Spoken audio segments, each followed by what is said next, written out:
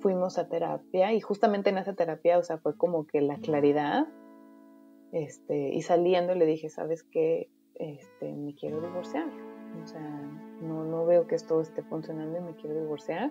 Y ahí, o sea, él tenía momentos de lucidez, o sea, y él se daba cuenta a veces de lo que hacía, ¿no? Y me dijo como que sí, tienes razón, te estoy haciendo daño y no estás feliz y no sé por qué estoy, o sea, no sé por qué estoy haciendo así, pero te estoy haciendo daño y si lo mejor es que nos separemos. Hola, bienvenidos al podcast Grief, Gratitude and the Gray in Between, historias de duelo y gratitud. Este podcast fue creado para explorar los sentimientos de pérdida y duelo que se viven en diferentes momentos de la vida cuando pasamos por cambios y transiciones drásticas que literalmente nos sacuden hasta lo más profundo de nuestro ser y nos hacen vivir procesos de duelo. Es mi intención que la gente se sienta un poco menos sola en sus procesos de duelo al escuchar historias inspiradoras de otros que han tenido trayectorias similares. Soy Kendra Rinaldi, tu anfitriona. Aquí les va el episodio de hoy. Hola a todos, bienvenidos a el episodio de hoy. Hoy tenemos el gustazo de poder escuchar la historia de Fernanda Ruiz. Fernanda Ruiz es psicóloga y es trabajadora social en Mary Center en el área eh, metropolitana de DC y está aquí para compartir su propia historia de duelo en, en su proceso después de que falleció eh, su ex esposo. Entonces es una, una, historia bien compleja y vamos a escuchar todos los detalles. Yo voy a, voy a aprender muchos de los detalles con ustedes, también los, los que están escuchando. Eh, sé solamente de a poquitos, pero em, aquí vamos a descubrir juntos su historia. Entonces, Fernanda, bienvenida. Hola, Kendra, muchas gracias por la invitación. Me alegro que aceptaste. me alegro que aceptaste y me alegro que, que Giselle, que Giselle ha sido una, una, una, de mis primeras entrevistadas, aunque en esa entrevista la hice en inglés, eh, cuando me contó sobre ti, dijo, yo creo que tienes que entrevistar a Fer. Y yo, ah, bueno, entonces te contacté y dijiste sí, y yo, yeah. sí, yo, también ya me había contado de tu podcast. Y no, y es una amiga que quiero muchísimo, entonces, viniendo de ella recomendada, claro. Dice que bueno, será, será. No tengo ni idea qué hace esta Kendra, pero bueno, será decir sí. Confiar en lo que dice Gis, ya que, ya que le, crees, le crees a Gis. Claro. Em, bueno, Fer, cuéntanos un poquito, Fernanda. Entonces, estás en el área de DC. ¿Eres originalmente de, de, qué parte de México eres? De la Ciudad de México. De la ciudad. ¿Y hace cuánto vives en Estados Unidos? Van en, en enero van a ser 15 años. Ya es este, pues un montón. no, yo te gano. Yo te este gano, yo soy otros 10 más, otros 10 más que wow. tú. Sí, no. 11 más que, tú. Van rapidísimo. Sí, sí, sí. Este, y sí, yo me vine aquí a Estados Unidos, bueno, a Washington específicamente, estaba en mi último semestre de la, de la licenciatura, de la carrera, y vine a apoyar a una prima que estaba en el proceso de reubicarse a México y yo estaba haciendo mi tesis, entonces la podía hacer remoto y el plan era nada más venir por unos meses y vine y me enamoré de la ciudad y tuve la suerte, o sea, me dije, bueno, voy a intentar quedarme a ver qué pasa y tuve la suerte de encontrar mi trabajo eh, en Mary Center, donde llevo ya 14 años, entonces oh, wow, sí. prácticamente eh, o sea, toda mi experiencia aquí en Estados Unidos ha sido con Mary Center. Okay. Y cuéntanos un poquito qué hace la organización. Es una, una clínica comunitaria con un modelo de cambio social. Eh, empezamos hace 32 años y fue, inicialmente fue en respuesta a la necesidad que había aquí en el distrito para, para mujeres que estaban embarazadas, que venían huyendo de cuestiones de violencia de Centroamérica, que en esa época había muchas guerras civiles, este, mucha violencia, y venían, llegaban aquí a Estados Unidos y no había servicios en español que fueran accesibles para ellas. Entonces, María Gómez, que es nuestra presidenta, es una enfermera, y ella consiguió un grant muy pequeño, unos fondos, para poder empezar a dar servicios de salud. Y de ahí fuimos creciendo, digo, empezamos literal, ella más bien empezó en un sótano, en una colonia aquí que se llama Adams Morgan, dando los servicios, y después vio que de repente, por ejemplo, las mujeres a veces no venían a las citas, entonces como que hablando con ellas, porque ella decía, bueno, ya están los servicios en español, accesibles, ¿qué pasa? ¿no? Y pues empiezas a ver todo lo que son los, eh, en inglés le llaman social determinants of health, que son como cuestiones en el medio, o sea, en tu entorno social que van, van a ser barreras o que a veces se, como que they get on the way, ¿no? Entonces, por ejemplo, las mujeres tenían... Impiden, impiden, tu, impiden tu proceso de, de, de, estar bien de salud o bien eh, de salud mental, salud física, emocional. O que a tomar prioridad, por ejemplo, si tienes una cuestión de violencia doméstica o están que, este, por ejemplo, no tienes dónde vivir o estás desempleada, o sea, hay muchas cosas que de repente pueden tomar prioridad y no es que no te importe el recibir tu cuidado prenatal o ir al doctor, pero si no tienes dónde dormir, primero tienes que averiguar eso, ¿no? Y tienes que resolver para tus hijos y ya después puedes ir al doctor. Entonces, viendo todas esas necesidades y pues que no era nada más dar los servicios de salud, entonces crea Mary Center, o sea, nuestro modelo de cambio social que tenemos. Entonces, en, nosotros lo que hacemos es que damos servicios médicos eh, desde el embarazo hasta geriatría. Entonces, o sea, todas las mm. edades, todas las especialidades en ese sentido, pues medicina preventiva y damos también servicios sociales. Entonces, tenemos, por ejemplo, eh, terapias, eh, tenemos eh, programas de prevención de abuso infantil, tenemos programas para adolescentes, para personas de la tercera edad. Entonces la idea es como que también apoyar toda esta parte social, ¿no? O sea, tus que tengas tus necesidades básicas cubiertas y que tengas redes de apoyo y los servicios concretos que necesitas para que entonces tu vida esté estable y tu salud pueda ser una prioridad también. Y a la par también tenemos servicios de educación. Entonces, bueno, si tú estás bien, tu familia está estable, tú estás estable y estás sano, ok, ¿qué sigue? ¿Cómo podemos ayudarte a crecer también económicamente, a tener mejores oportunidades? Entonces tenemos una escuela que es para, para adultos, para que puedan aprender inglés, para que puedan sacar su eh, diploma de bachillerato, donde pueden también sacar certificados para cuidar niños, para ser una asistente médica. Entonces, eh, esa es la idea, ¿no? O sea, cómo podemos apoyar a nuestra comunidad para que sea más fuerte y le vaya mejor. Qué lindo, qué lindo eh, servicio que haces, en serio, es muy lindo. Gracias por, por compartir. Ahora, cuando tú viniste a Estados Unidos, entonces hace 15 años, ¿ya estabas casada en ese entonces o conociste a tu primer esposo, a tu esposo voy a decir esposo porque en, ese, en este, sí, en este momento. Sí, porque, sí, exacto, entonces es tu esposo. Entonces ya después aquí en la historia nos contarás un poquito más de ese proceso, pero ya lo conocías o se conocieron acá en DC, ¿cómo fue? ¿Cómo Yo fue lo conocí aquí en DC, eh, él era cubano em, y llevaba ya aquí en Estados Unidos, yo creo que unos, no sé, 15 eh, años aproximadamente en ese momento, llevaba ya varios años que había llegado. Eh, y lo conocí de, la primera vez que lo vi, lo vi en una fiesta, una amiga me lo presentó y me pareció súper sangrón. Este, sangrón, ¿qué sangrón? ¿Sangrón? ¿Dijiste? o sea, como creído, como mamá. Sí, es que, sí, es que, ay no, es que aquí me ha tocado, perdón, le acabo de pegar el micrófono.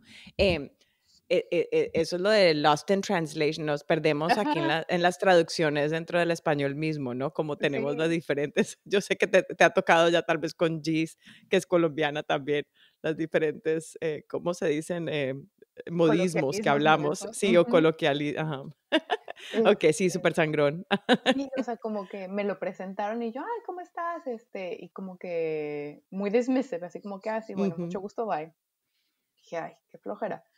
Y como a los dos meses, yo creo, yo empecé, empecé a ir a tomar clases de salsa, porque aquí, en, bueno, no sé, pero en Estados Unidos como que asumen que si eres latina baila salsa. Y en México yo no crecí escuchando salsa, yo escuché pop, rock, este, es otro tipo de música. Entonces llegas aquí y como que siempre era el explicar de que no, mira, en México no bailamos salsa. Y hasta que dije, llamo a tomar clases porque es más fácil que estar explicando. Y, este, y pues aparte te diviertes, puedes bailar. Entonces empecé a ir y la, eh, en una de las clases que voy, generalmente no habían suficientes hombres y la profesora era muy amiga de él. Entonces le pidió que si podía ir como que apoyar ese día, porque luego no había suficientes hombres. Eh, y cuando llegó, le justamente le toca bailar conmigo. ¿Y su nombre, su nombre, Enrique era? Ernesto. Ernesto, sabía que era con Ernesto. Ok, Ernesto. Nos toca bailar juntos y lo primero que me pregunta es como, ¿estás bailando de hombre o de mujer? Y, yo así como que, o sea, creo que me veo como mujer, soy mujer, o sea, no entiendo, ¿no? Sí. bueno. Porque no sabía dónde, porque él te estaba tratando de decir que estabas poniendo tal vez la mano donde no era, o sea, si estabas poniendo la mano arriba o en la, o en la, sí, sí, como que si lo estabas poniendo en el hombro o en el, o en la cintura. Lo que pasa es que había veces que justamente como no había suficientes hombres, había mujeres que, ya tenían un poco más de experiencia y bailaban la parte del hombre. Pero en mi caso no lo era. Estaba súper principiante. Entonces, bueno, y que bailamos ahí y al final de la clase me empezó a hacer plática y me pidió mi teléfono. Este, y, y bueno, salimos ese fin de semana. Me acuerdo todavía que mi roommate, este, Laura, una de mis mejores amigas, me preguntó así como que, bueno, ¿y te gusta? Y le dije, pues me pareció, o sea, no sé, pero tampoco tengo nada más que hacer hoy. Me pareció buena onda al final cuando estuvimos platicando, entonces pues voy a salir. Eh, y esa vez salimos y quedé así fascinada. Sí, sí, sí, sí, Era alguien con un carisma impresionante eh, y que tenía muchísima plática. Entonces me acuerdo que fuimos a cenar y después fuimos a caminar, fuimos a bailar. Total, llegamos a mi casa. Yo, yo estaba cuidando un perrito chihuahua en el momento. Entonces, como que en un punto tuve que cortar eh, la cita porque tengo que, el perro se me va a hacer del baño, ¿no? En el departamento, pobre perro debe estar con la vejiga que le revienta. Pobrecito el chihuahua. Y me dice, no, pues si quieres te acompaño. Y lo caminamos. Y yo, bueno, y eh, total nos quedamos platicando, yo creo que hasta las seis de la mañana el perro ya estaba tirado así de, ya, por favor, quiero regresar a la casa, yo ya no quiero caminar. Eh, y, o sea, de verdad, desde el primer, la, desde esa primera cita causó una impresión como que muy fuerte en mí. Eh, y de ahí empezamos a salir. ¿Y cuánto tiempo después se casaron? Nos casamos al año. Ah, oh, sí, rápido, entonces. Sí, sí, sí. Estaba rápido. Bueno, entonces eh, están en DC, se casan al año. Eh, cuéntanos, él qué hacía, su, su profesión, ¿qué, ¿qué, era? Él era este, guitarrista de música clásica, era concertista. Ok, entonces era, era, a ver, era extrovertido súper extrovertido, era un artista, o sea, toda su vida. Él empezó a tocar la guitarra a los cuatro años, y a lo, por ejemplo, a los nueve dio su primer concierto internacional. Entonces, oh, él estaba acostumbrado, sí, era, o sea, eh, era un genio en la guitarra. Entonces, él estaba acostumbrado a estar en el escenario. Entonces, pena no tenía ninguna. Eso sí, y estaba, eh, algo que yo le aprendí mucho es de que a él no le importaba lo que dijeran de él, porque él estaba acostumbrado a que siempre va a haber críticas. Entonces de mm. ahí tienes que agarrar qué puedo mejorar, ¿verdad? Porque como músico, si tú estás en el escenario, siempre va a haber una crítica, buenas o malas. Entonces, él era muy auténtico y él, él era quien era, donde estuviera. Me, gusta esa, esa, ese aprendizaje. Entonces, de saber qué críticas van a venir y, tomarlas, en inglés se dice like a grain of salt, o sea, como que no, no darles tanto peso, sino que usarlas para mejorar, quizá porque de pronto hay alguna verdad dentro de esa crítica y las que no hay, pues entonces simplemente dejarlas ir. Pero él estaba acostumbrado a eso y no lo tomaba como tan a pecho, ¿no? Claro, claro. Entonces, eh, pues sí, es, es, a lo que se dedicaba él. Tenía también, este, daba clases en un conservatorio dos días a la semana y de ahí en fuera era, eh, pues, tocar la guitarra. O sea, ah, todo la persona más disciplinada que yo conozco, él todos los días eh, tocaba ocho horas este, de guitarra o piano, lo que fuera, para practicar. incluso cuando íbamos de vacaciones, yo en eso, o sea, me dormía, o sea, cuando yo me despertaba a las 10 de la mañana y cuando yo me despertaba él ya tenía 5 horas de haber, o 4 horas de haber estado practicando, porque él se levantaba antes para poder practicar y después ya poder muy disciplinado, seguir. Muy disciplinado. Muy disciplinado. Entonces, cuéntanos cuánto tiempo después entonces fue que las cosas empezaron a cambiar y que llegó a que ustedes entonces se, se divorciaran. ¿Cuántos años después? Fue, la, fue muy rápido. Eh, estuvimos nosotros casados tres años. Y el primer año y medio fue muy padre, muy bonito, o sea, la verdad. Este, o sea, la parte que el año que salimos más ese año y medio eh, la pasamos súper bien, viajábamos mucho, nos divertíamos mucho, este, y de repente él empezó a cambiar, como que poco a poco, y la verdad yo al principio no me di tanto cuenta, eh, fue una amiga mía la que se dio cuenta primero, que me dijo como que, ¿qué le pasa a Ernesto? Como que no, se, se está vistiendo diferente, habla diferente, y no logramos como que conectar. ¿Y hablar diferente era que como otro acento o usando palabras? No, como que la forma en la que se expresaba, por ejemplo, eh, él empezó a ser como que más conservador en su ideología, ¿no? Mm. Este, como que sí, o sea, temas que, sociales que platicábamos, digo, yo siendo trabajadora social, obviamente mi entorno también era mucho en ese, ese, ese, en ese medio, y de repente, o sea, ya había temas que o sea, como que encontrábamos mucho conflicto con él. O sea, cosas que... Que en lugar de ser más liberal, eh, antes era como más liberal y después se volvió más conservador. Exactamente. Okay, Entonces, como que... Eh, y bueno, o sea, eh, así fue como, ella fue la primera en notarlo y como que bueno, y empezamos a tener este, como que mucho conflicto él y yo, roces, este, pero también digo, yo tenía 26 años, entonces, o sea, como que él me llevaba 12. Era 12 años más oh, que yo. ¿Ese en qué año es? Disculpa, ni siquiera. Esto, ¿Esto hace cuánto fue?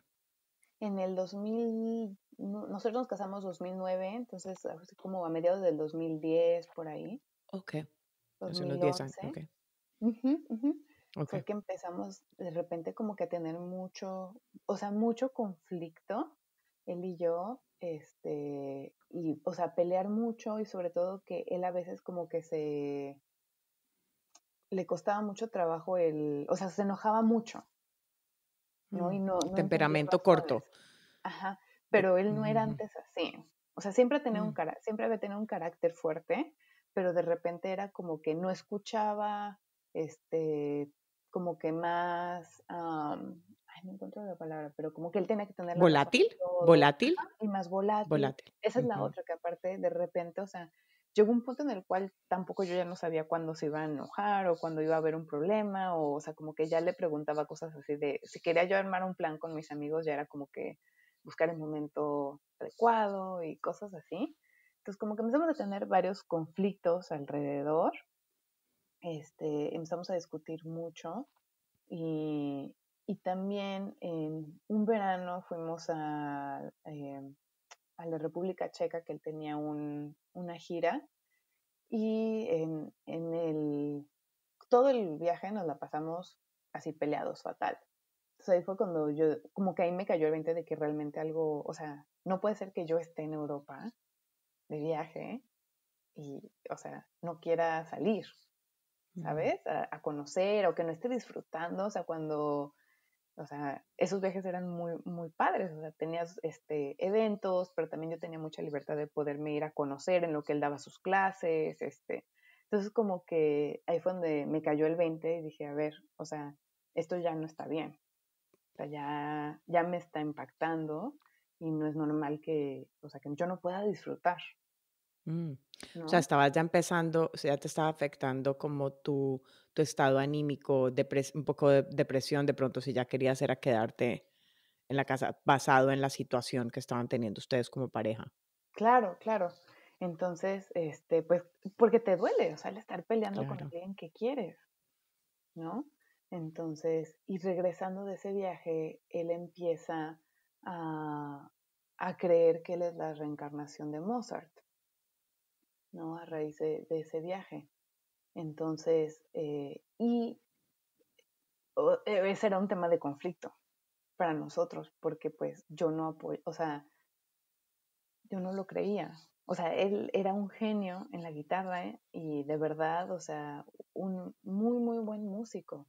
Pero de ella, o sea, como que yo no veía la, o sea, qué evidencia, o para mí me cuesta mucho trabajo creer en ese tipo de cosas O sea, no digo que la reencarnación no exista, pero me cuesta mucho trabajo y como que soy más de dónde está la evidencia. Y, crees que sonaba un poco como como un poco como de egocentri el comentario en sí como egocentrista o narcisista? Ese, ese comentario en ese momento, o sea, ahorita vamos a, a, a entender el porqué de todas estas cosas, pero eh, el comentario, o sea, te cogía era más como de, perdón, no te agarraba, ¿ves? Tengo que decir, agarraba, agarraba. Te, te, te, sorprendía más el comentario era como por eso, de cómo puedes pensar que eres Mozart, más que, ¿sí me entiendes? O... No, no, no, no por ese lado. No, ok. Porque, eh, o sea, me podría haber dicho soy Juan Pérez y también, o sea. También hubieras estado, ok, ok, ok. O sea, como que, ¿cómo, de dónde? ¿No? Ok, ok, listo, este, ya. Y, y, si era un poco egocentrista, digo, era un artista, entonces sí también esa era otra parte de, de, su personalidad que siempre estábamos un poquito debatiendo.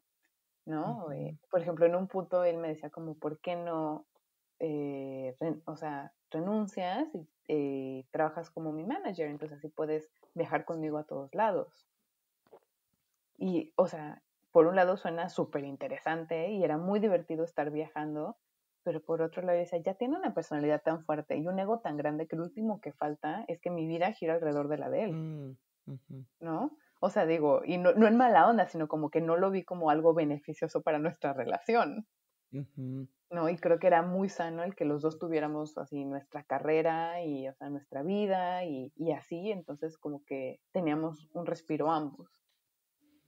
¿no? ¿Y qué fue lo que, entonces, en qué momento? ¿Regresaste entonces de ese, de ese tour? Dice él que él es Mozart y que, eh, eh, y y la reencarnación de Mozart. ¿Y qué fue entonces, en qué momento ya decidieron o decidiste ya terminar la relación?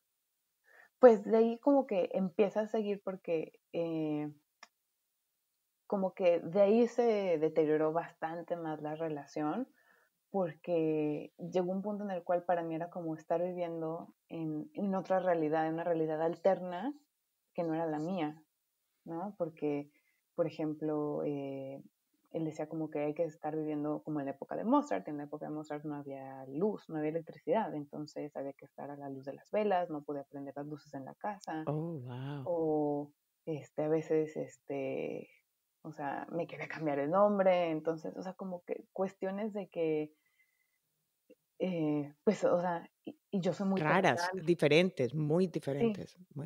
Eh, entonces... Ven, te pregunto, Fer, un momento, perdona que te interrumpa aquí un paréntesis.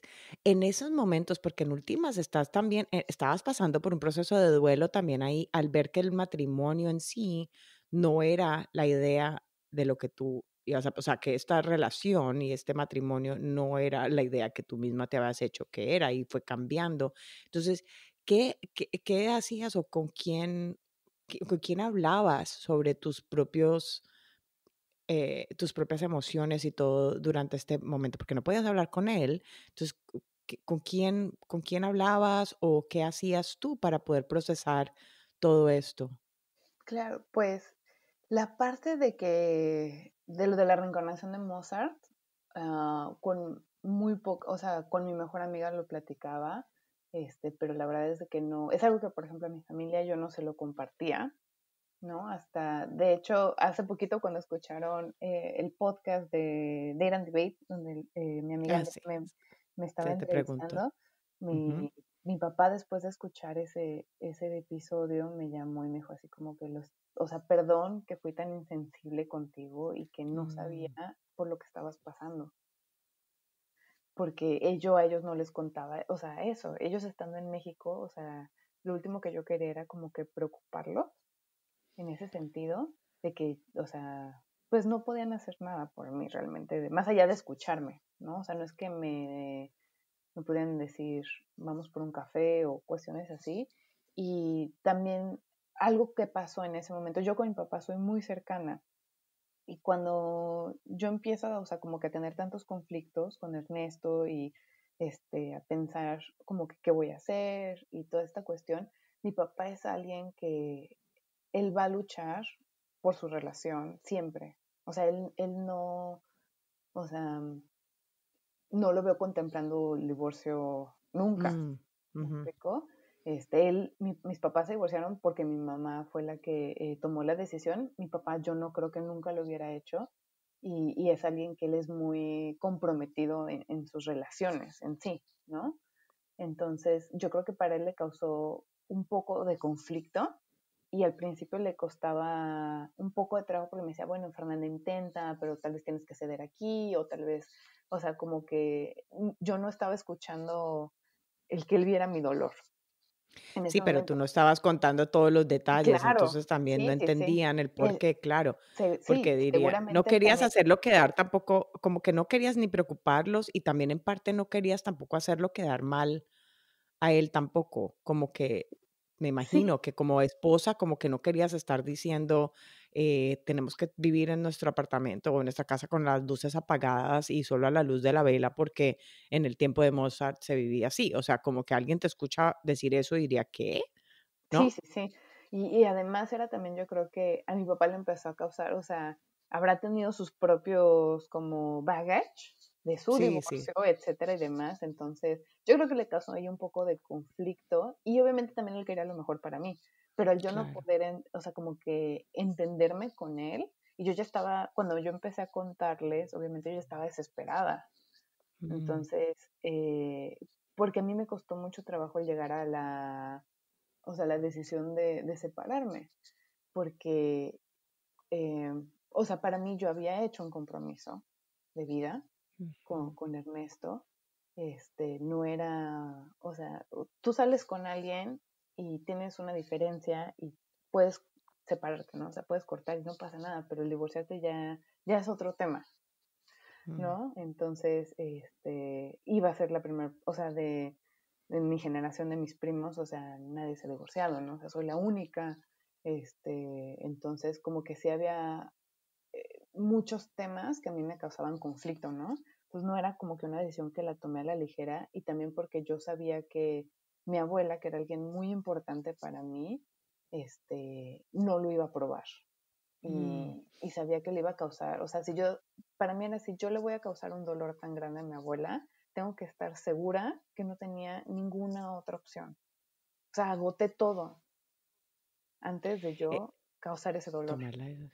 Es increíble, ¿no? Eh, la cantidad de sacrificios que hace a veces el ser humano por el bienestar de, de otros, ¿no? Pensando en el dolor ajeno, primero, ¿no? Como aquí lo que estás diciendo, como la parte de no quería que mi abuela pasara por ese dolor, que mi papá pensara, como que todas esas cosas que a veces hacemos como seres humanos, así estemos nosotros doliendo, nos aguantamos solo por no crear más dolor a otros. Claro, nos y aguantamos además, también yo creo que es cuando, cuando estás en, en ese como nebulosa de dolor y enojo, obviamente eso también, o sea, hace que veas las cosas a través de ese lente, o sea, no estás viendo claro. claro o sea, no es que tengas la claridad mental de decir, no, a ver, yo tengo que estar bien y primero voy yo y la gente me va a querer y, o sea, puede que los decepcione tantito, pero me van a seguir queriendo y al rato va a estar todo bien. ¿sabes? Eso, por ejemplo, es una de las lecciones que yo me llevé, de, o sea, de divorciarme y de todo este proceso, o sea, de, o sea, no te van a dejar de querer y no pasa nada. Mm, es, que es, de aquí, ya, ya dijiste un aprendizaje en este proceso de, de, duelo, porque ahí también había un duelo del divorcio, ¿no? Entonces, en uno de los aprendizajes fue el hecho de saber que el amor de los demás continúa, aunque haya uno quizá haber, haber, haber habido cambiado de planes o de, de curso en su vida. Y al final del día, mira, la gente que te quiere, quiere lo mejor para ti. Claro. Entonces, mientras tú estés bien, puede que la gente al principio apoye o no apoye tus decisiones. Eh, o sea, y que aparte debo decir que mi familia me apoyó muchísimo. O sea, todo estaba en mi mm. cabeza, ¿no? O sea, este, mm. mi abuela sí nunca supo que me divorcié, pero mm. este, pero la verdad es que me apoyaron muchísimo, muchísimo mi familia, este, yo con mis primas soy muy cercana, entonces ah, me preguntas que con quién hablaba y yo, de las personas con las que más hablaba era mi tía, este, mi tía Upa, que es de las, o sea, como una segunda mamá para mí, y con mis primas yo hablaba mucho al respecto, ¿no? Porque también la otra parte que me pasaba era, viviendo lejos de mi familia, para mí era muy difícil a veces el cuáles son los límites o qué es lo correcto o, o sea, como que me sentía súper desorientada en qué en qué es un, o sea, qué es un matrimonio, qué es una familia, qué, o sea, qué debo permitir, qué no debo permitir, qué está bien, o sea, eh, me, no sé, como que me faltaba ese, esa brújula, que es mi familia. Mm. ¿Y tú qué edad tenías entonces cuando tus papás se, se divorciaron? Yo tenía 15 eh, años. Ok, entonces sí, como que también el ejemplo, aunque, o sea, había sido que unos 10 años antes de que te casaras, entonces que se habían divorciado, pero sí, como que no necesariamente tenías un ejemplo exacto de cómo era, como lo que dices, la brújula, de cómo tampoco o sea, debería. Sí lo tenía, en el sentido de que, por ejemplo, mi tía Upa y, y mi tío Polo han sido un súper ejemplo, o incluso, o sea, los matrimonios de mis primas, de mis tíos, o sea, la, la verdad es de que estoy rodeada de excelentes ejemplos. Okay. Pero al, no estar con ellos, o sea, como que no es lo mismo convivir el día a ah, día. Ya, ya, ya te entendí. ¿sabes? Y, y, pues todas las parejas se pelean. Claro, de uno saber de cómo sale. Sí, de cómo sale después de una pelea, cómo se arreglan, cómo se, esas, esas, ese tipo de dinámicas del día a día no las estabas viviendo porque estabas. Claro, qué tanto, o sea, how much is too much, ¿no? O sea, todas las parejas se pelean y tú dices, bueno, me, me, enojé con mi esposo y todo el mundo, claro, todo el mundo se pelea. Y entonces, pero qué tanto es como ya, ya es demasiado, o sea, ya, ya no es normal. Mm, ya, entendí ya el punto. Estaba haciendo falta. ¿sabes? Y entonces, ¿cuándo, ¿cuándo tomaste entonces ya la decisión ¿Y cómo hiciste para ya divorciarte? O sea, porque especialmente si no, si una, si la otra persona se quiere divorciar, ¿no? ¿Cómo, cómo fue esa decisión? Pues entonces. Nosotros nos separamos dos veces. La primera vez que nos separamos, eh, había pasado un incidente y, o sea, es, que pasaban cuestiones que a veces lo que te digo de que era como vivir otra realidad. entonces, un día yo estaba en el trabajo, le escribo a una amiga mía eh, la misma que me dijo como que Ernesto está cambiando mucho. Laura, eh, algo así dijiste, Laura. Ella sí, ella se llama Low. Ah, oh. y, le digo, este, como, nada más le escribí como, ¿qué harías si estuvieras en mi lugar? Y me dijo, este, paso por ti en media, ¿estás en la oficina? Sí, paso por ti en media hora, vamos a comer, yo tengo el día libre. Fuimos a comer y me dijo, Fer, o sea, el día que tú quieras, iba con su esposo, con Matt, me dijeron, el día que tú quieras, nuestra casa es tu casa, este, no tienes que quedarte en una relación si no estás feliz, y no estás bien, o sea, no te vemos bien. Entonces ahí tomé la decisión de, o sea, como que fue en el momento que me dieron el empujón, justo donde yo estaba en duda, que yo creo que eso también fue clave, este, o sea, eh, porque en otro momento hubiera como que, no, bueno, ya se tranquilizó la situación y no pasa nada, ¿no? Entonces me agarraron un momento en el cual yo estaba como que con mucha duda, me dieron el empujón y ahí dije, ok, este, voy a, eh, mudé mis cosas, él estaba de viaje, y mudé mis cosas. Obviamente hablé con él, esperé a que él llegara y hablé con él, pero parte del que yo mudara mis cosas fue que yo sabía que si yo no hacía eso, hablando, él me iba a convencer de quedarme. Entonces, este, pues le, dije que, o sea, que nos tomáramos un tiempo, que yo necesitaba espacio. Este, lo, obviamente no, o sea, le dolió, pero no, lo aceptó este, y estuvimos separados como dos meses, como dos, tres meses que yo estuve viviendo con mis amigos, que esa fue la, para mí la peor parte mía, que fui el, el peor invitado que puedas tener en tu vida, en el sentido de que, este, y ellos son unas personas tan generosas, o sea, con un corazón tan grande, y yo estaba como que en esa, estaba tan enojada y como que tan triste claro. Este, con todo que, o sea, no quería ver a nadie, a nadie, a no, nadie. estabas, estabas grieving, estabas en duelo total, o sea, se estaba acabando tu matrimonio.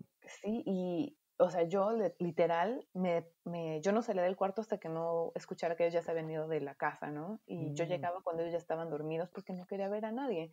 Y ellos fueron mm. como las personas más pacientes y generosas y ellos así como que el día que quieras convivir, acá estamos y si no me respetaban mis espacios y, o sea, la verdad es de que yo les, eh, son de las personas a las cuales creo que les debo, o sea, muchísimo, ¿no? Eh, y bueno, y en esa eh, temporada nos tomamos ese tiempo, después Ernesto me pide que porque no regresemos, que vayamos a terapia de pareja, que él quiere intentar. Entonces regresamos, volvemos a intentar terapia de pareja, que ya la habíamos intentado antes.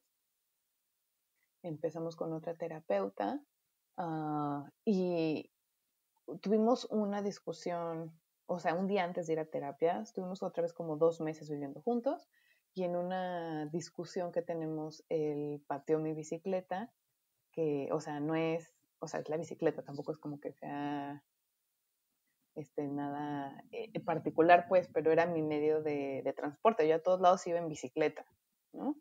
Pero fue como el, el punto donde dije, o sea, ya está escalando al punto de ya no nada más son gritos o este, ya, o sea, ya no está logrando controlar su enojo y como que en qué momento me, o sea, me espero a ver si lo pierde conmigo también o si nada más son los objetos, ¿no? Mm. Entonces, este, fuimos a terapia y justamente en esa terapia, o sea, fue como que la claridad, este, y saliendo le dije, ¿sabes qué? Este, me quiero divorciar, o sea, no, no veo que esto esté funcionando y me quiero divorciar.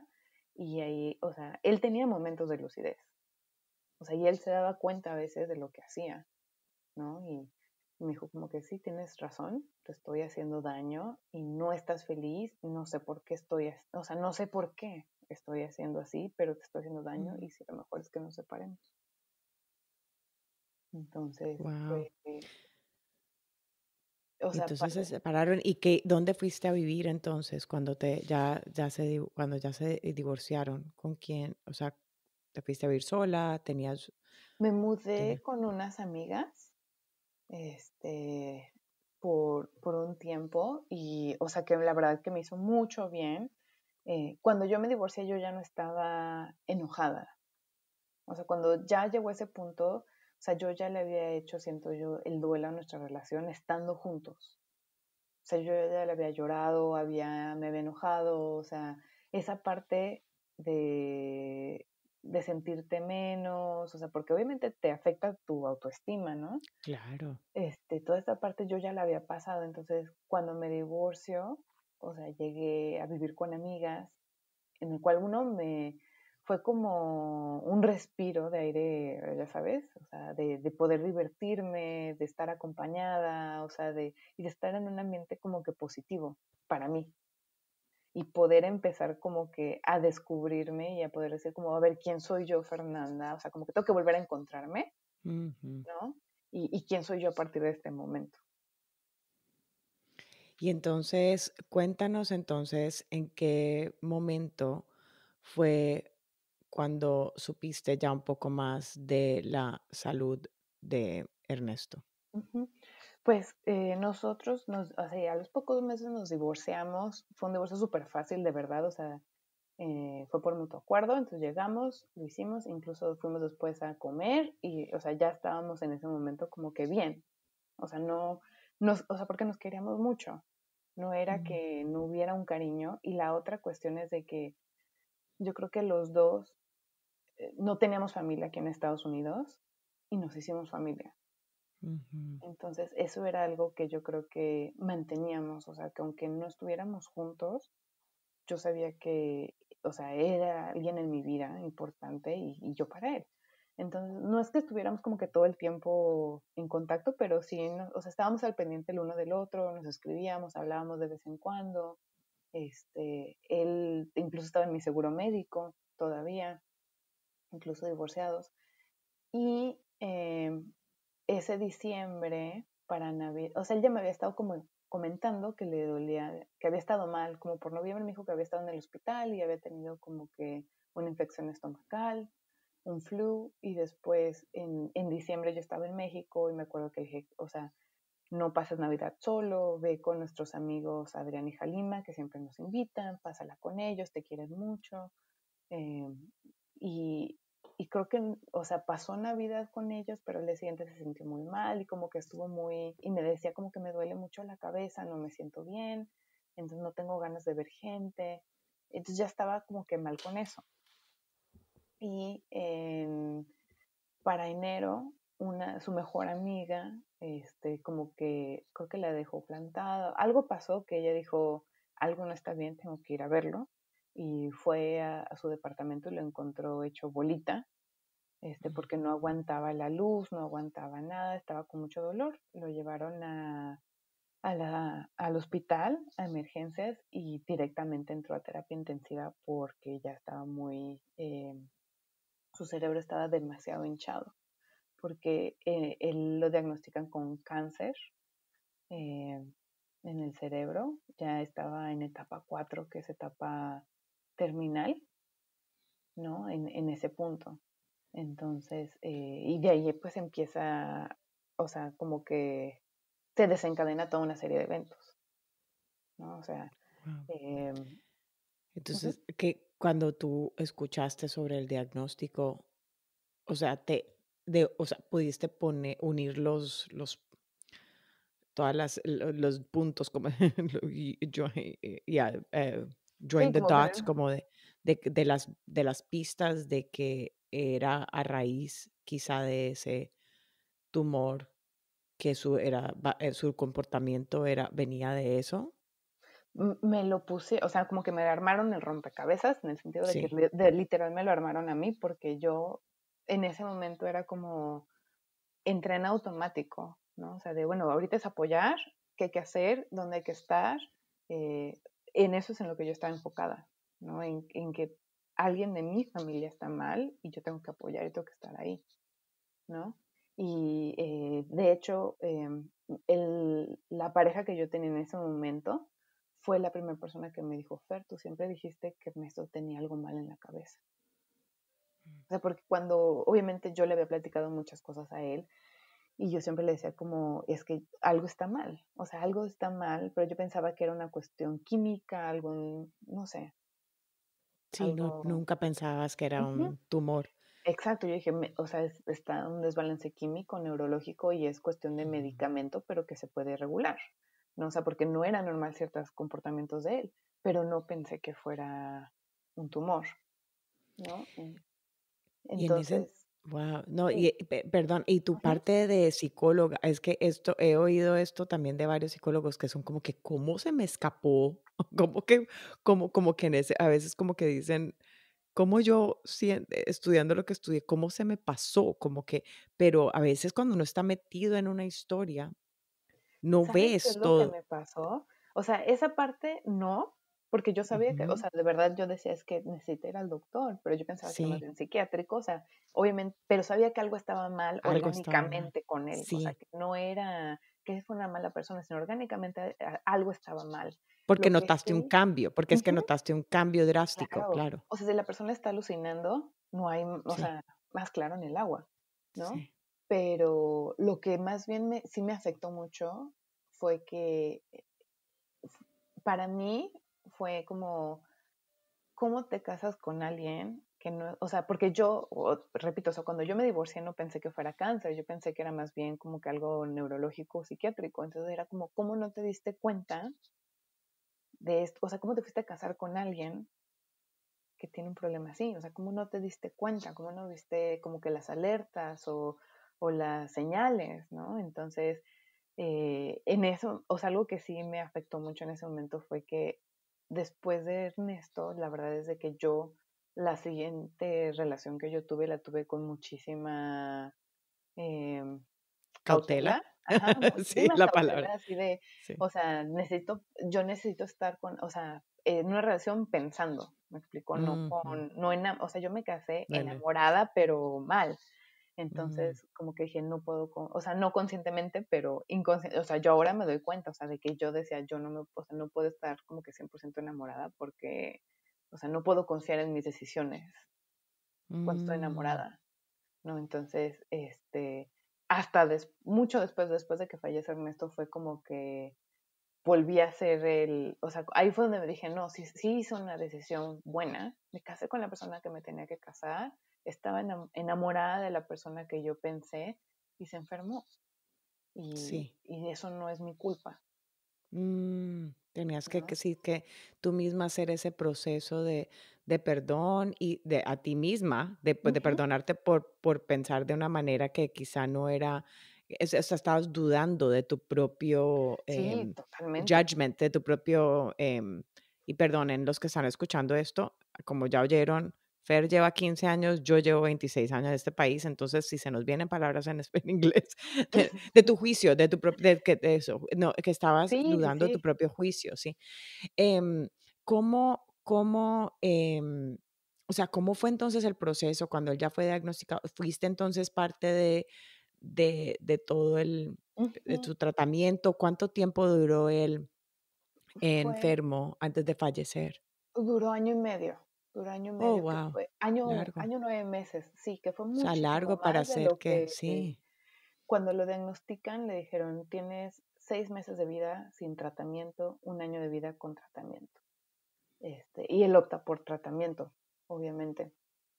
Y, esa parte fue como que compleja porque, o sea, gracias a Dios, él y yo ya habíamos hecho las paces antes de.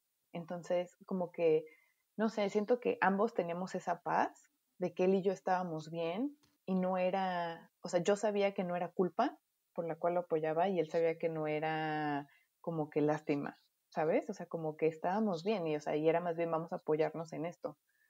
Pero también fue... De amor todavía, de ese amor, como lo que dijiste antes, eran familia, ya así no fuera que estuvieran casados, todavía eran familia y estar allí, tú para él era parte de ese amor familiar que tenías hacia, hacia él, del amor que habías tenido. Lo tenías. Y la, o sea, él estuvo una semana de terapia intensiva antes de que lo lograran operar porque se necesitaba, este, él estaba muy inflamado el cerebro, se, se tenía que desinflamar y todas las noches, o sea, a la, cuando terminaban las visitas, él me llamaba por teléfono para ver si podíamos rezar antes de poder irse a dormir, ¿no? Entonces, eh, o sea, de verdad teníamos, eh, éramos muy cercanos, pero también fue una, fue muy difícil para mí el navegar cuál era mi rol como ex esposa en su vida, en el sentido de que después de que él operan, eh, se, fue otra persona también o sea, porque sí perdió, pues, o sea, al final del día era una operación de cerebro. Y él estuvo cinco meses en el hospital porque le tocó rehabilitación de volver, o sea, después de la operación estuvo como una semana en coma, después despierta, pero le tocó volver a aprender a caminar, a, comer, o sea, muchísimas cosas, controlar sus esfínteres, este, y no volvió a ser la misma persona que era antes. O sea, sí tuvo un daño de cierta forma, ¿no? O sea, sí era alguien con el cual podías platicar y, o sea, y todo, pero no era la misma persona. Entonces, mm. este... Tuviste, tres, tuviste tres personas. Tú conociste a Ernesto, tú conociste a Ernesto eh, comportamiento con tumor y después conociste a Ernesto después de cirugía con ya otros, otros o sea, efectos pues que tuvo el, el, la cirugía que tuvo en su cerebro. Entonces, tres diferentes personalidades dentro de, este, de esta relación. Claro, y en esa época también, eh, justamente, o sea, después de la operación, eh, él ya no podía tomar, eh, en un principio, los primeros meses sobre todo, él no podía tomar decisiones por sí mismo. Entonces, había otras personas que tenían ese poder este, para poder legalmente poder tomar las decisiones, este, porque médicamente no estás en capacidad.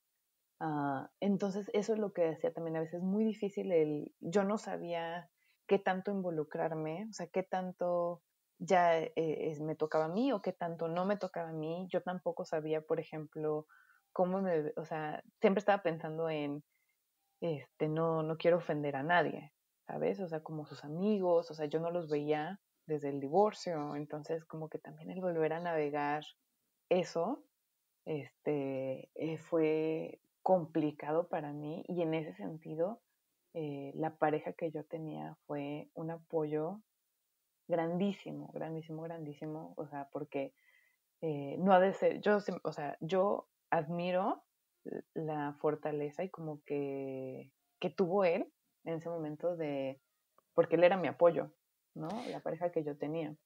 Claro, ¿y eh, cuánto tiempo llevabas con él que, te, que tenían esa confianza de que, de que él estaba bien con que tú estuvieras apoyando a tu ex esposo en su proceso? Teníamos, yo creo que como un año por ahí, este, o ah, ni siquiera un año. Yo creo que estábamos, o sea, como seis meses de haber empezado a salir. eh, y él me llevaba al hospital, o sea, me decía, yo no entro, yo te, porque yo no tengo nada que hacer ahí, ¿no? Pero yo te espero, o sea, y ve tranquila, y siempre me preguntaba cómo está, cómo estás tú. Este, de hecho, el día que Ernesto fallece, yo estaba de viaje por trabajo y una amiga de nosotros eh, se entera de la noticia por otra amiga en común y, le, le comenta a mi, a mi exnovio como que pues Ernesto falleció. Eh, me enteré de esto. Y lo primero que él les dice es como, por favor, no le digan a Fer todavía, porque Fer está de viaje y está sola y no quiero que, que tenga esta noticia oh. sola. O sea, como que eso me, me impresiona, el, mm. tener la capacidad de, de, apoyar de esa forma, ¿no? Sí, que sí, muy compasivo. Eh, y, en, sí, y, entendía tu proceso.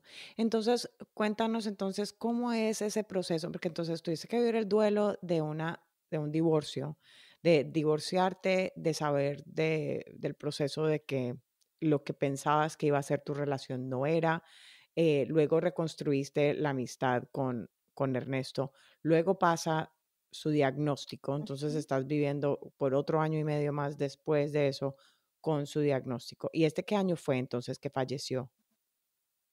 ¿En qué año falleció Ernesto? Él fallece en el 2014. Oh, ok.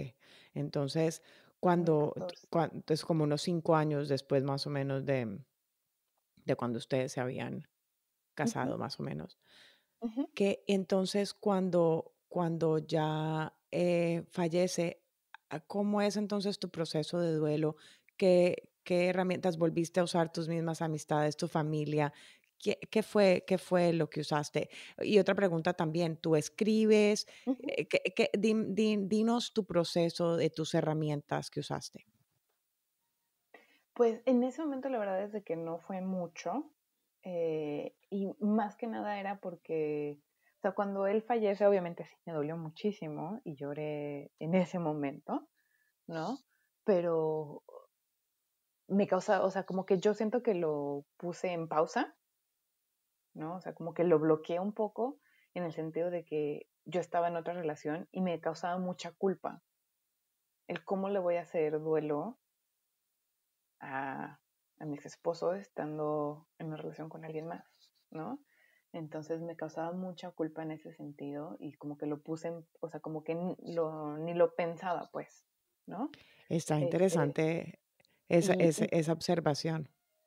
Y aparte, o sea, cuando él estuvo en el hospital, me dolía muchísimo el verlo, o sea, cuando yo llegaba del hospital y, o sea, ver cómo se fue deteriorando, o sea, obviamente me dolía y en el momento sí lo sentía, pero, pero era como, o sea, no tienes tiempo de estar decaído, o sea, hay que estar, o sea, porque uno tu vida sigue, o sea, yo seguía, o sea, trabajando y esto y aquello y además, o sea, tienes que estar ahí presente. O sea, la próxima vez que lo veas tienes que estar bien. no tienes, o sea, yo no me daba tampoco el, chance de, más allá de si lo vi saliendo, tal vez lloraba un poco y, y a lo que sigue, ¿no?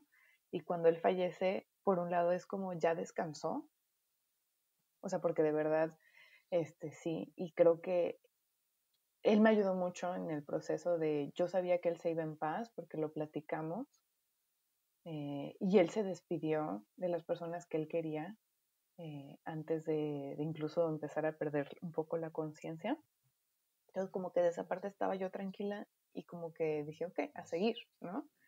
Eh, y fue como, yo creo que un año y medio después, estaba yo con una amiga que era, o sea, también conocí a Ernesto y estábamos platicando un día, estábamos de viaje ella y yo, y me preguntó como que si este que si yo regresaría con alguien de mis exparejas, o sea, como hipotéticamente, ¿no? Y ahí fue donde dije, la verdad la única persona con la cual yo iría sí, sería con Ernesto.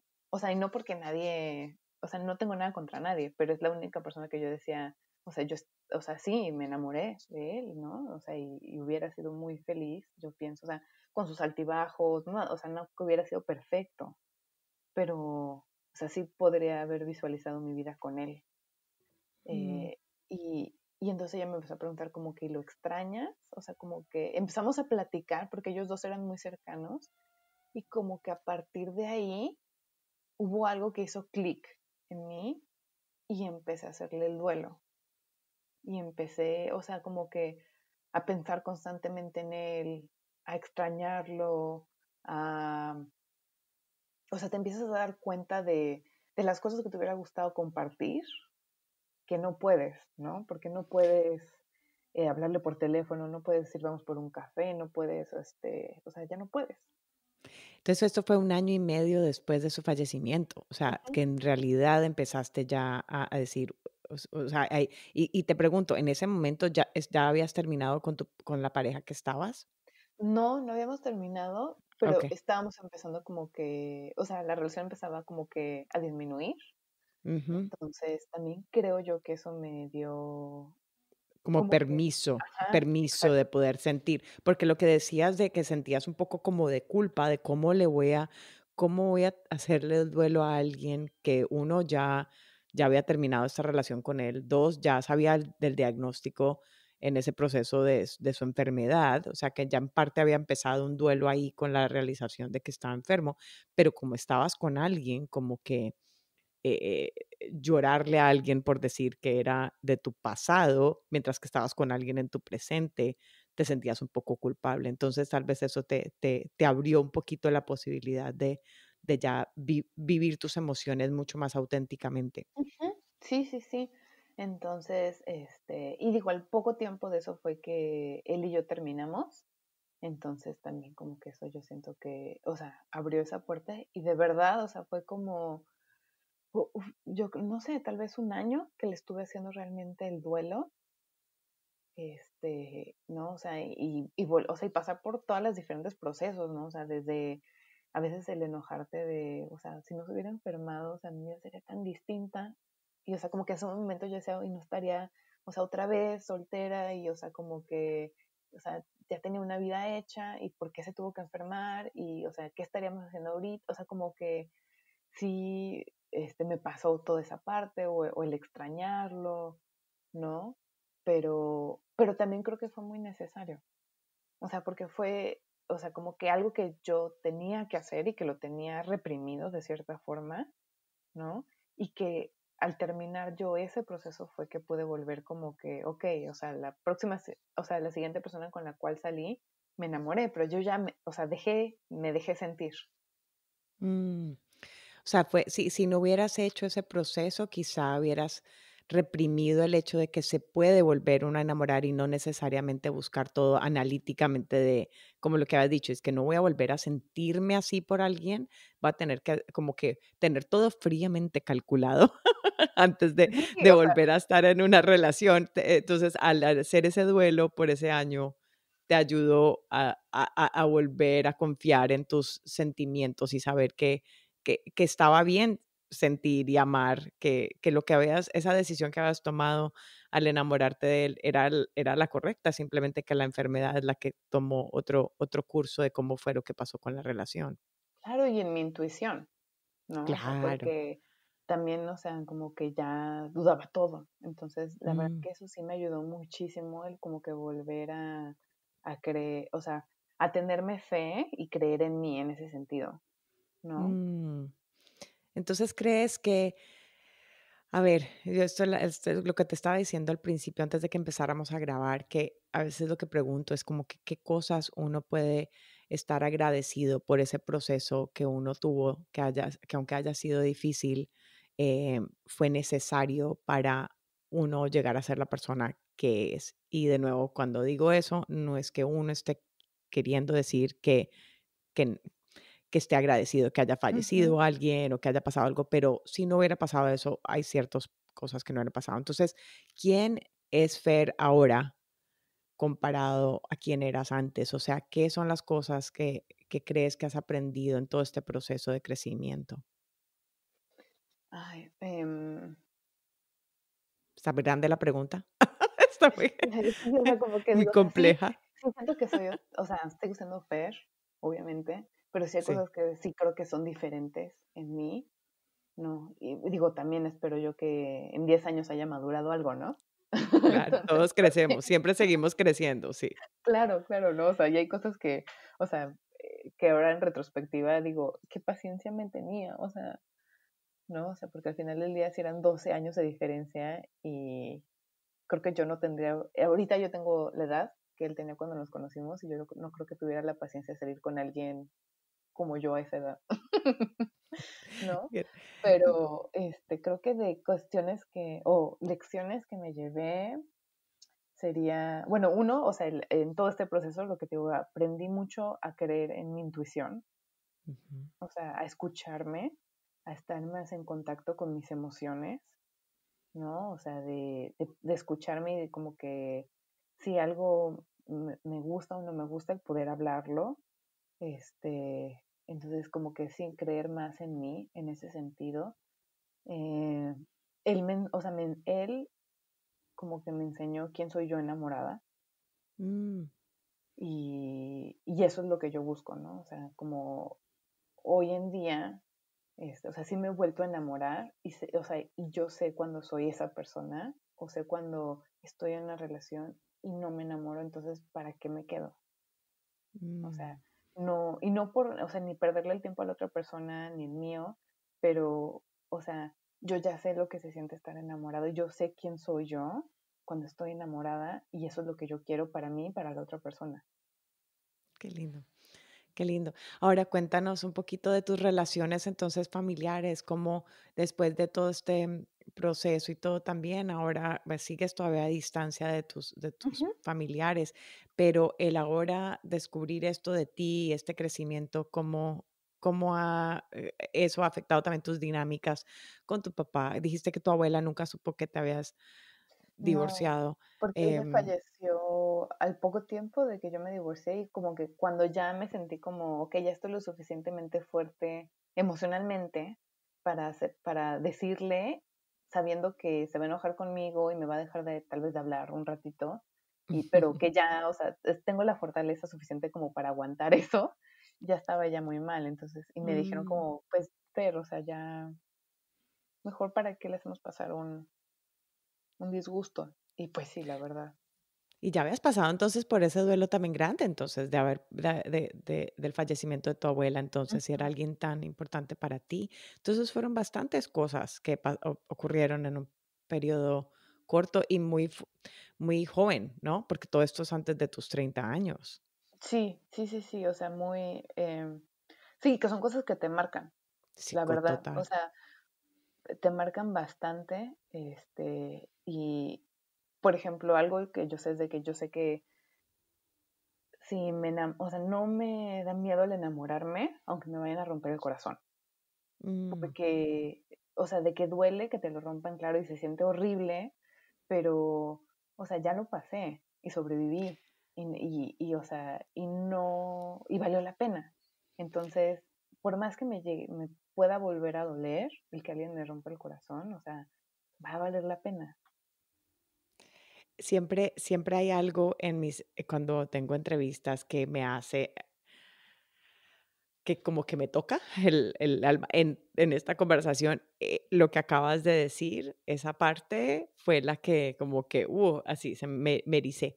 Em, sí, el hecho de que ya, ya, ya tu alma ya, ya viviste por eso. Entonces, ¿qué es lo peor que puede pasar si ya has vivido algo que fue difícil. Entonces, el, el, eso, es otro aprendizaje, entonces, grandísimo, sí, porque entonces ya no, no temes el, el amar sabiendo que de pronto no termine funcionando, porque ya este amor que tuviste tan grande ya falleció y aún así pudiste sobrevivirlo. Entonces, eh, eso es un aprendizaje gigante para, para cualquier persona que, que esté escuchando esto, es de que eh, está, está bien y que todos tenemos esa resiliencia de poder salir adelante, aunque en ese momento, en el momento que lo estamos viviendo, no podemos ni creer que podamos a poder estar bien.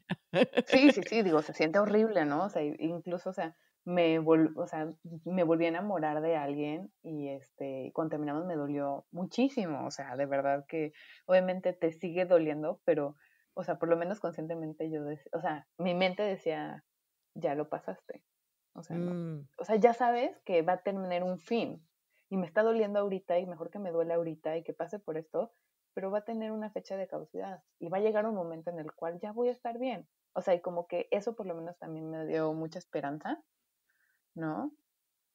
Este, mm. Y incluso yo el agradezco el cuando, o sea, aunque no haya funcionado, por ejemplo, incluso con esa persona, para mí fue como, para mí eh, fue como, ya sé que me puedo volver a enamorar, o sea, ya sé que también hay más personas y no es como que conocí el amor de mi vida y ya no ya falleció, entonces ya no, o sea, no lo voy a volver a sentir. te da esperanza, te da esperanza de que hay más de una persona a la que puedes amar en tu vida. Claro, claro, porque obviamente cuando estás en el periodo de duelo y demás, o sea, uno está más catastrófico, ¿no? Entonces como que no, ya conocí el amor de mi vida y, ya, pues no. Mm. no, enfermo, que, que Qué, lindo todos tus aprendizajes y, gracias por compartir. ¿Y cómo te, cómo te sientes tú cuando compartes esta historia que aunque haya pasado muchos años, cómo es para ti compartirla y escucharte a ti misma contar tus vivencias y tus crecimientos? Pues es curioso porque, o sea, es algo que es, es muy importante en mi vida, una etapa muy grande que me ha marcado, entonces es algo de lo cual con la gente que es cercana a mí o que me conoce, lo, lo hablo, o sea, es parte de mi vida, ¿no? Este, pero más bien, por ejemplo, cuando hoy antes de hablar, también con Andrea cuando grabamos el otro podcast, este, o cuando sé que lo voy a tener que hacer, o sea, antes de, el momento como leading to, ¿no? El momento antes de, este, pues sí me da como, no solo es el nerviosismo, sino, o sea, me duele. O sea, me, da mm. miedo, más bien, en ese momento, el hablar del tema y que me va a volver a doler. Pero ya mm. estando, o sea, ya cuando lo hago, la verdad es de que son más los, o sea, como es un recuerdo muy lindo el que tengo y como que de verdad, o sea, como que agradezco haber conocido a una persona como lo fue Ernesto, que admiro muchísimo por muchísimas cosas, o sea, de verdad que no he conocido a nadie igual. Em, entonces, siempre más bien termino muy agradecida y como que con paz y también en la parte de, uy, lo sobreviví.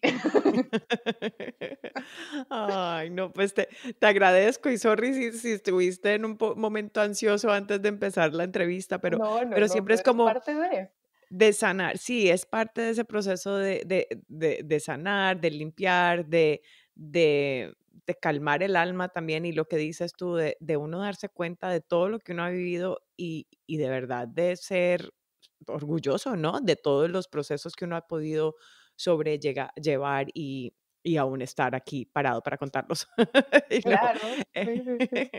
y además que al compartir le estás dando esperanza a otros que quizás estén pasando por momentos similares o que hayan pasado por momentos similares y que de pronto no hayan dejado sanar su su corazón o de, o de darse la, la, esperanza de poder volver a amar de nuevo o cosas así por el, el mismo hecho de, de, tener miedo de ser heridos. Entonces, eh, das, das, esa esperanza de que, de, que, de que está, de que está ese, esa posibilidad de amar eh, de nuevo y de locamente, locamente.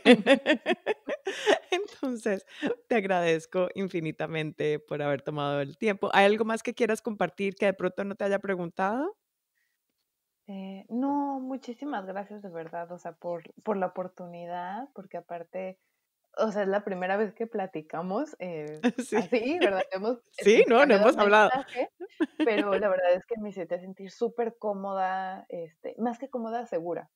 O sea, me sentí, Qué bueno. que podía abrir, contar mi historia, abrir mi corazón y como si estuviera hablando con alguien que conozco hace años. Entonces, ah, este, pues, muchísimas gracias. Te agradezco por confiar en mí, que aunque te dije, no, no, no, no vamos a hablar antes de la entrevista. Quiero escuchar los, los detalles mientras que estemos hablando, que aunque había escuchado, y voy a poner en, los, en, en, en la información de este podcast, voy a poner el otro podcast de Date and Debate que hiciste con tu amiga eh, Andrea. Entonces, ese, ¿quieres contar un poquito de ese? Ese haces uno, tú haces la parte de, eh, de Therapy Thursdays, ¿es? Terapia de jueves. Y hay unos episodios en español en ese podcast también, ¿correcto? Sí, Andrea Hoyos, mi amiga, ella empezó con su podcast hace un año, no, este año empezó, que se llama Date and Debate. súper interesante y en algún punto yo, este, yo siempre le comentaba este, de me gustó esto o esto lo haría, hubiera hecho así, este, y tiene unos muy interesantes. Entonces, en uno de los podcasts un día como que le hice unos comentarios de, mira, o sea, hablaron de la teoría del apego y que es como que mi teoría favorita. Y le dije, o sea, este es el tema que me apasiona y creo que faltó esto, o yo hablaría de esto o aquello.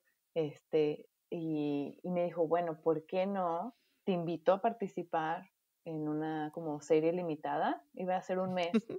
Y me dijo, y hacemos Therapy Thursdays, entonces retomamos el tema y hablamos de otras cosas. Y como que fue así como, ay, ¿para qué ando yo Pero me pareció, o sea, como que súper, o sea, como interesante, divertido. Y la verdad es porque ella es la que tiene la iniciativa, ¿no? Entonces, este, eh, pues nos pusimos de acuerdo, grabamos cuatro episodios, uno de ellos en español, y tuvieron como que muy buena respuesta. Y creo que algo que ayuda mucho es igual, o sea, de que es una plática de amigas. Y yo traigo algunos temas de, o sea, que le hago la investigación desde la parte psicológica, pero pues es una plática entre amigas.